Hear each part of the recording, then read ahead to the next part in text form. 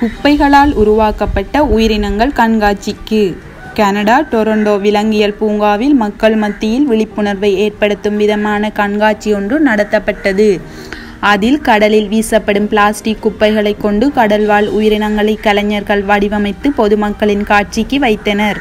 கடலில் வீசப்படும் குப்பைகளால் எந்த அளவுக்கு எந்த அளவு கடல் உயிரினங்கள் பாதிக்கப்படுகிறது என்பதை மக்களுக்கு எடுத்துக்காட்டி விழிப்புணர்வு ஏற்படுத்தும் விதமாக இந்த கண்காட்சி ஏற்பாடு செய்யப்பட்டது என்று விலங்கியல் பூங்கா அதிகாரிகள் தெரிவித்துள்ளனர்.